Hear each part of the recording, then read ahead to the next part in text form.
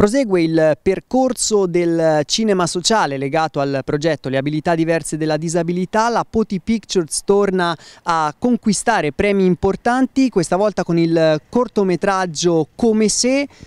Quali sono stati i concorsi ai quali avete partecipato e quali premi ottenuti?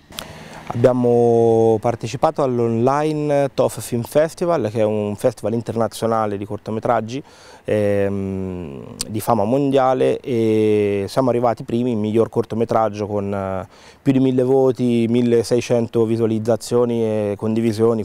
C'è poi stato un altro concorso, anche questo molto prestigioso e conosciuto all'interno del proprio settore. Sì, l'Accolade Global Film Festival, che è uno dei più grossi, forse il più grosso eh, concorso a livello di, di, cortometraggi, lungometraggi, mediometraggi eh, che si trova a Los Angeles. E qui abbiamo vinto il primo premio nella categoria disabilità.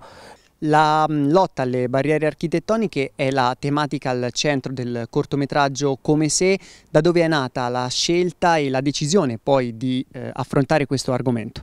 Sì, la sceneggiatura è di Michele Squillace che mm, leggendo il libro di Saramago, Cecità, eh, avuto questa, questa intuizione, eh, conoscendo anche Ilaria Bidini eh, che da anni lotta eh, contro le barriere architettoniche, ha avuto anche una, una famosissima intervista con, con, il sindaco Fanfani. Abbiamo unito questa quest idea in cui mh, eh, il mondo a un certo punto si dovesse fermare e avesse come eh, necessità il confrontarsi con una persona che tutti i giorni invece prova certe difficoltà insomma, anche nel, nel, movimento, cose che a noi sembrano banali eh, che però chi, chi, sta su una carrozzina o ha una mobilità eh, limitata chiaramente si trova ad essere in forte difficoltà e a passare notevoli disagi.